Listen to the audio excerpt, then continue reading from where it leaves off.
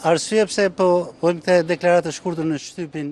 viziv është te fakti i një shtimi të tejskajshëm të fluksit të urgjencave në spitalin infektiv, vetëm 6-7 ditët e para ka pas një mesatare ardhje prej 200 vetash, pra që i bie një mesatare rreth 2 herë më e lartë se në vitin që ka kaluar, dhe problemi kryesor është shfrytëzimi tej kapaciteteve i spitalit,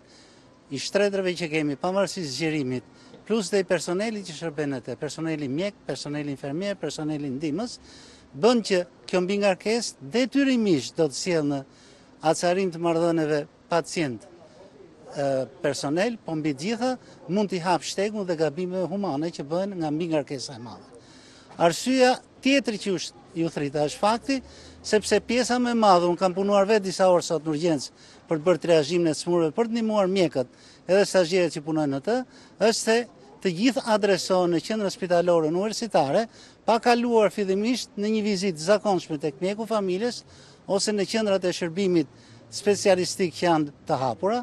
për gjënë më të thjeshtë, një i sëmurë që vjen se ka 2 orë temperaturë, se ka hequr një herë barku, se i ka mbaruar receta i ilaçeve ose se para 3 muajsh i ka dhëmb dhimbje, ka pas dhimbje koke.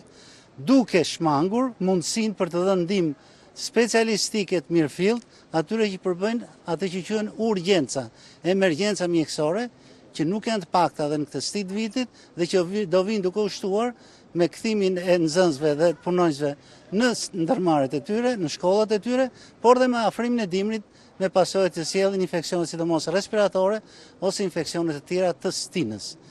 Pra, duhet të bëjmë kujdes mos të vijmë në qendrën e vetme terciare që ka vendi, ku zakonisht duhet të adresohen vetëm mjek ato pacientë, të cilët kanë nevojë për një ndihmë tejet të kualifikuar, e cila u mungon ose është e pamundur t'ipet në rrethet përkatëse, meqenëse qendra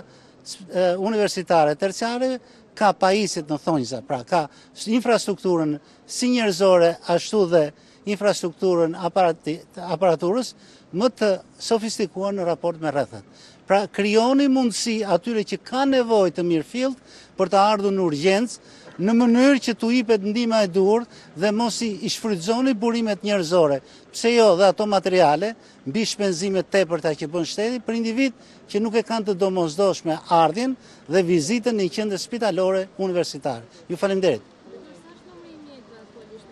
Në urgjencë shërben një mjek dhe një stazhier çdo mëngjes, ndërsa plus plus dy mjekë të urgjencës të planifikuar që janë për deri pjesën tjetër ditës. Po ashtu janë nga dy infermiere për turn, por një fluks i tillë do të paktën 2-3 fishin e këtyre kapaciteteve. Edhe pse urgjenca nga 5 shtretër është bërë në 15 shtretër, Përsëri është e papërballueshme, sepse njerëzit sapo vijnë, të gjithë rrinë ke koka doktorrit, edhe pse mundohemi me numra, me triazhim t'i themi edhe që përbëjnë super urgjencë të jenë të parët, t'u jepet prioritet, të tjerët të presin, askush nuk pret, secili do të vijë, do të marrë ndihmën ose të mbarojë punë, se si duket a do shkojë të bëjë pazar, o ka ndonjë punë tjetër, ose e pret plazhi ose telenovela në shpi për të përfunduar.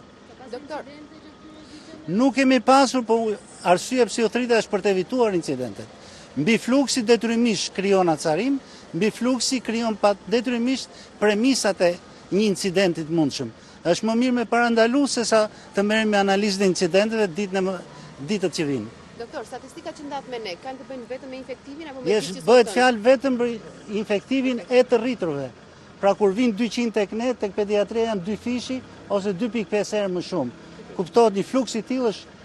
detyrimisht i papërballueshëm me kapacitetet tona. Faleminderit. Kënaqësi. Faleminderit dhe ju për gatishmërinë.